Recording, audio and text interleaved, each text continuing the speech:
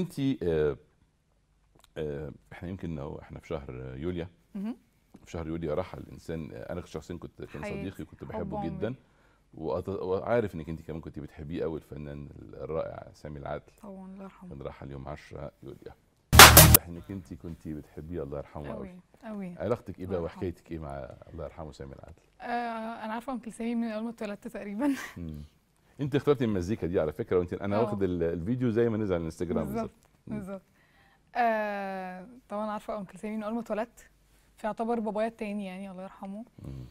و و يعني شافني وأنا بكبر و- وعاش معايا حقيقي يعني هو رباني ليترلي من وأنا صغيرة وكانت. علاقتنا قوية قوي غير يعني في صحاب بابي كتير بس في ناس معينة علاقتي بيهم بجد قوية قوي قوي قوي وكان uncle سامي حد منهم ومن أقرب الناس كمان و بحبه قوي.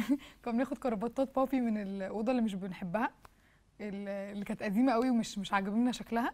بنحطها في كيس ونخبيها تحت السرير. التخينه قوي دي بتاعت زمان آه. كنا بنخبيها في كيس ونحطها تحت كان بيلبس السرير. زمان بس كانت الموضه كانت موضة طبعا. آه خلي بالك. آه طبعا. كان آه. كان هو كان fashionable جدا بس يعني كان فكنا بناخدها بقى كنا نخش الأوضة ناخد ناخد الكرافتات نحطها في كيس ونخبيها تحت السرير عشان نتأكد إن هو ما يلبسهاش كان بينصحك بإيه لما يعني أنت قابلتيه طبعا يعني شافك كنت بتمثلي طبعا؟ لا.